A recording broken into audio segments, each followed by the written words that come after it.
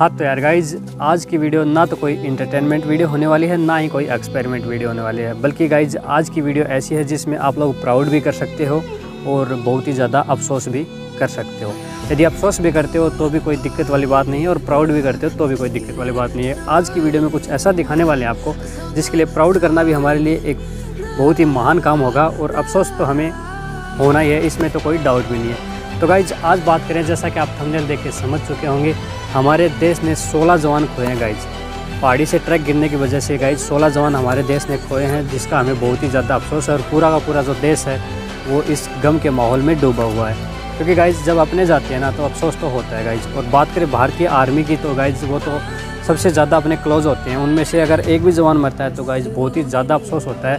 लेकिन हमने तो एक साथ सोलह जवान खोए हैं। और गाइज़ वो कहते हैं ना, अपनों में भी अगर कोई अपना जाता है तो अफसोस और भी ज़्यादा बढ़ जाता है। तो गाइज़ उसी अपनों में एक अपने की बात कर रहे हैं मनोज कुमार, जो कि आप लोगों ने मीडिया वगैरह में या फिर न्यूज़पेपर में देखा होगा, जो कि राजस्थान को वो गाइज़ एक बात मैं आपको बता देना चाहता हूँ कि देश में शहादत हो और राजस्थान के झुंझुनू ज़िले का लाडला शहीद ना हो, ऐसा तो हो नहीं सकता।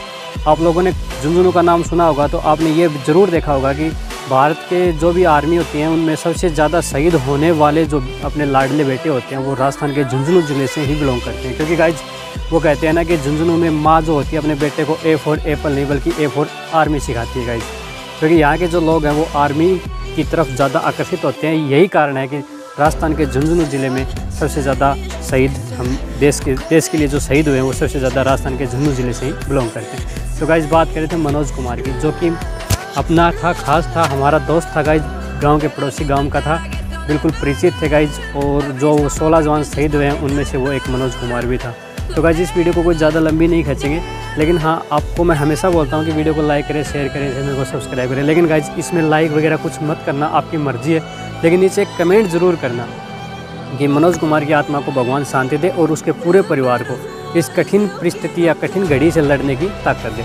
तो गाइज़ चलिए साथ मिलकर एक बार मैंने उनकी जो पूरे राष्ट्रीय सम्मान के साथ उनको आखिरी जो विदाई दी गई थी, उसको मैंने कैमरे में कैप्चर करने की कोशिश की गाइज़ उसको कैप्चर करने का मेरा मुख्य उद्देश्य ये था कि जो हमारा जो दोस्त है, उसकी यादें हमारे साथ हमेशा के लिए बनी रह सकें। क्योंकि गाइज़ दूसरों के कैमरों से जो रिकॉर्ड होती है मीडिया वगैरह की, उसमें वो मज़ा नहीं आता गाइज़ तो इसलिए मैंने कैमरे में कैप्चर करने की कोशिश की है कि भाई, मनोज भाई सदा अमर रहें और उनकी यादें हमारे साथ सदा बनी रहें। तो गाइज़ ये जो मनोज भाई हैं, ये राजस्थान के झुंझुनू ज़िले के बुहाना जो तहसील है, उसके माजरी गाँव से बिलोंग करते हैं और पूरी माजरी पूरी माजरी क्या गाइज़ पूरे देश को प्राउड है ऐसे लाडलों पर जो देश के लिए अपनी जान दे देते हैं गाइज़ और अफसोस इस बात का होता है गाइज़ कि इस उम्र में जब किसी माँ या किसी भाई या किसी का बेटा है घर से जाता है गाइज़ किसी का पति तो गाइज़ अफसोस तो बहुत होता है। उसकी एक छोटी सी बेटी है गाइज़ बाकी आपको सारा वीडियो में मिल जाएगा। तो चलिए साथ में मिलकर एक बार वीडियो देखते हैं गाइज़ लेकिन कमेंट ज़रूर करना कि भगवान उसकी आत्मा को शांति दे और उसके पूरे परिवार को इस दुखद घड़ी से लड़ने की ताकत दे। तो चलिए गाइज़ एक बार साथ मिलकर पूरी वीडियो देखें